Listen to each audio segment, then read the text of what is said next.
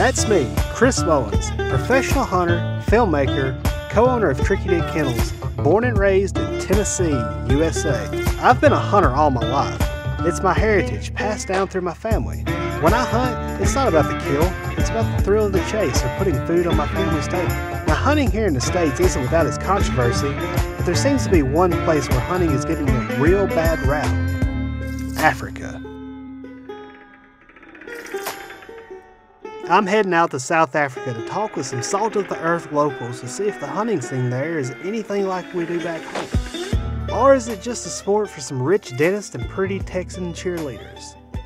So my first stop brings me to an ecotourism reserve called Scotia, where I'm going to pick the brain of reserve manager Justin Bean. Justin is taking me out on a game drive, so I can get an up close and personal look at some of these animals all this controversy is surrounding.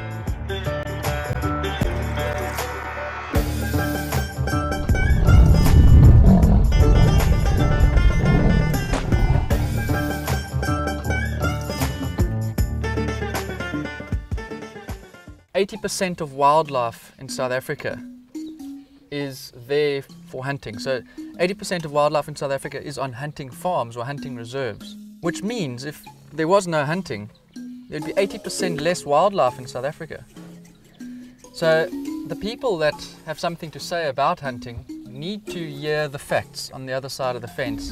All these uh, hunting reserves that are here in Africa if they resorted to being just a place where people can take photos of animals, would that bring as much money into the economy as it's bringing in at the moment? Oh, no, we would really battle. You know, there's, there's so many hunting farms out there. If they were had to stop hunting and then just try viewing only, it would cause a huge impact on all the existing reserves, game viewing reserves, and it would really, they would really battle to start up. I mean, we've been in the industry for 25 years, and we were the first private game viewing reserve in this area, and we're just hanging on. We'd have to get rid of our elephants, get rid of our impala, get rid of our, all the animals we have, change back to normal farming. The hunting that you're talking about is actually hunting on foot. It's really tracking stuff. It's not driving up in a vehicle too, like these animals like they have right out here. Absolutely. That's that's how hunting always has been in Africa. If you go back to the 1800s, people came on safari in Africa and they would hunt on foot, and it was tough. Yeah. Unfortunately, these days, I believe that it, it, it stems back from where the hunters are coming from, their home country. It's become sort of a shopping list. You know, they they want they're going to accept nothing less than than a certain sized animal or certain sized horn, and they're going to want to tick off all 12 species on their list and that's what it's become these days. And in order to get that, they have to do it on a vehicle. Look how close we are to these animals now, sitting in a vehicle. And that's completely unethical, it should be on foot. As you can see, sitting here in the vehicle now, these animals are just so relaxed. But let's see what happens if I grab my rifle and we get out the vehicle here. See the animals immediately start getting a lot more nervous. See, they all look up. And if I go down, they get a lot more nervous. Look how they all take off like that as well. And that's because I'm simulating that hunting, stalking type of look. Time to move on. Next, I'm meeting up with Ryan Fuller, a professional game hunter. His job's at the center of all this uproar, so it ought to be a good talk that we'll be having.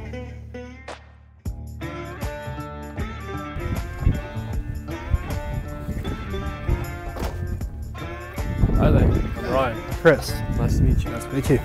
Are you interested in uh, learning a bit about game hunting? Yeah, yeah, definitely uh, heard a lot about the game hunting here in Africa. I just want to come see it firsthand. Now is when I get to have some fun like back home and take a few practice shots with Ryan.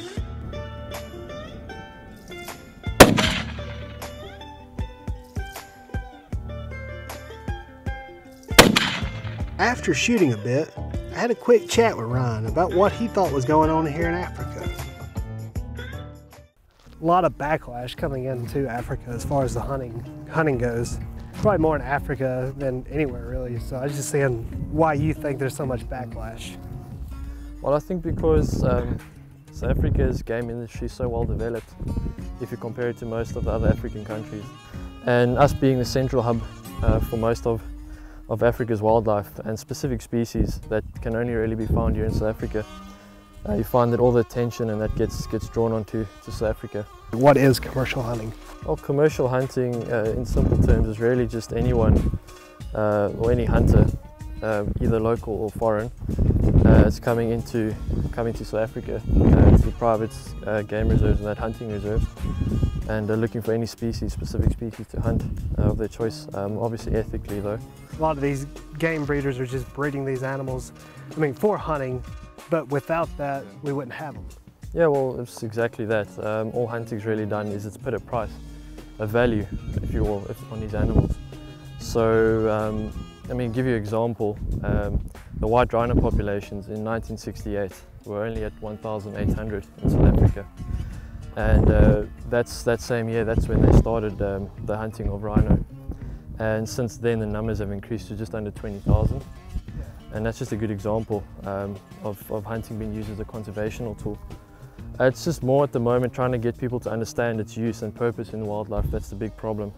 And trying to get to understand why we need it as a management tool for our wildlife. It's since um, you find all your wildlife, especially in South Africa, is fenced up. Uh, they need management. Unfortunately, most of these species can't migrate anymore, and they can't move around. And if an animal is fenced up, you need to manage them, manage their numbers, and that's the most important thing. That's why hunting is seen as a management tool. Ryan seems a straight shooter, and whilst it's not all roses, the reality seems that without trophy hunting, many of those beautiful wildlife shows we watch wouldn't exist. Unless you want to watch a couple of cows chewing cud. With our talk over, we head off into the bush to put it all into action. We're on the hunt for kudu, the real way. But what you're really looking for is um, the kudu love the early morning sun, so especially sitting on the eastern facing slopes. Around the next corner, we hit on some brown hyena tracks. It's these types of discoveries that really gets my heart pumping, knowing that we're walking the same path as some true wild predators. Oh, see, we've got a track right here. After hours of hunting, we finally run up on some fresh kudu tracks. This is what I've been waiting for. So I think we keep following them down here, and uh, hopefully we get our kudu just behind the point down there. We get visuals a number of times, but the kudu just melt into the trees while I'm setting up. Guess that's why they're called the ghost of the bush. I'm not one to take an unethical shot. See, for me, it's all about the hunt and not the kill, so I'm stoked. We didn't quite get what we was looking for today, but that's hunting for you. Yeah, it's uh, you get your good days and you get your bad days, um, but I thought it started still quite productive. Oh yeah, definitely. Well, that does it for my African journey. I've come to realize that it's no different than any other hunting, as long as it's done properly. There is definitely an unethical dark side to the industry, and it's understandable that media is going to focus on this. But I reckon the answer's not to fight hunting, but to fight the unethical shooters and outfitters who are giving all us hunters a bad name. For me, now it's time to go see my dogs.